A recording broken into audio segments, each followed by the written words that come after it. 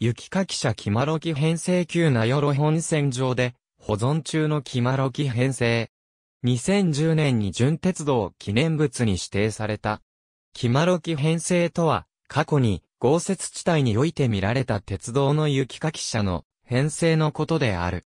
札幌鉄道局内部工場の工作課長であった、橋間金三郎が、欧米の除雪車を視察研究した成果として考案した。通常の除雪には、ラッセル車が使用されるが、ラッセル車に押しのけられた線路脇の雪壁が高くなると除雪するそばから、線路上に崩れ落ちて効果が薄くなってしまう。そのような豪雪時に、線路脇の雪壁を崩し、線路から離れた場所に投雪する目的で運行された。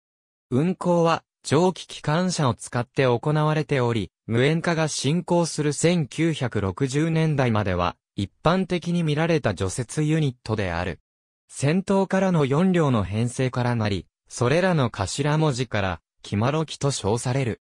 改装時には4両の車両は連結されているが、除雪時にマックレー車とロータリー車は切り離される場合が多く、その時は、キマ、ロキの2両編成2本となって、作業時には、キマが先行し、若干の間隔を空けてやや後ろをロキが追従する、形態で運行される。当然、一閉塞一列車の原則から外れるが、キマロキに限っては、両者で一列車とみなす扱いがされていた。キマロキ編成は、速度が速いと雪壁を崩すマックレー車にかかる負荷が大きくなり、また集められた雪が、ロータリー車の排泄能力を超えてしまうため、時速 10km 程度の低速度で運行された。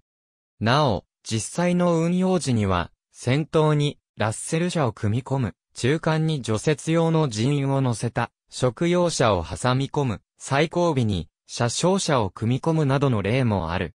後年、DD14 型や DD15 型などの除雪用ディーゼル機関車が登場すると、次第に出動機会は減少していったが、無塩化された後もディーゼル機関車の能力を超える、豪雪時には出動する場面もあった。C58 型と同じボイラーを持つキ 620K の出力は最大 1000PS、定格で 850PS 程度であり、DD14 の2機関投雪時よりはいくらか低く、一等一掃除よりは大きい。ただし、ロータリー車は、自社の書き込み口を超える高さの雪は処理できなくなるため、雪の深さに対する対応力では、蒸気ロータリーの形状の方が有利である。しかしこのような対応が必要となる路線用にも、後に、幹線用の DD51 型と同じエンジン、走行系を持つ DD53 型が製造された。